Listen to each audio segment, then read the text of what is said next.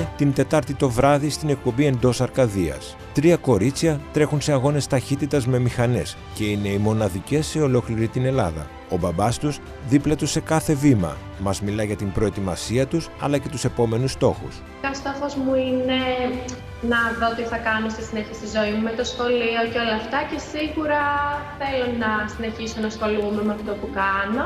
Πάνω. Το καλύτερο θα ήταν να μπορέσουμε να, να βρούμε τον τρόπο να πάμε να κάνουμε έναν αγώνα στο εξωτερικό. Ε, αυτό θα ήταν το, το πιο καλό και νομίζω και το όνειρό τους είναι αυτό, να μπορούν να, βγουν, να κάνουν έναν αγώνα σε παγκοσμίο επίπεδο. Μαθαίνουμε για το αρχείο της Τσακονιά και το αρχοντικό τσούχλου στο Λεωνίδιο. Οπωσδήποτε η διατήρηση και ανάδειξη της τσακώνικης διαλέκτου, των παραδόσεων, που είναι η χωρή και η μουσική, η χωρή, ο τσακώνικος χορός είναι γνωστός. Τετάρτη στις 9 το βράδυ εντός Αρκαδίας με την Αγγελική Σπυροπούλου μόνο στο Ιόνια.